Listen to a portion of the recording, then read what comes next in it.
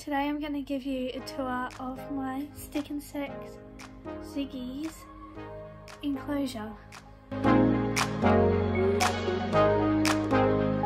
The enclosure's in my sister's room because she also has a stick insect in there. So let's head into there from my room. This is the enclosure. I'm going to give you a look inside the enclosure now.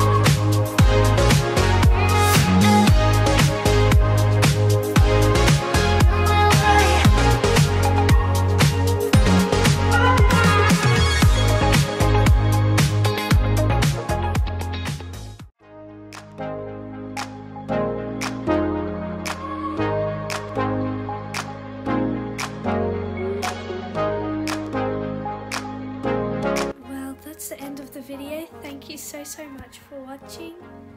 And if you've got any long form video ideas, um, please comment them down in the comments. Thank you.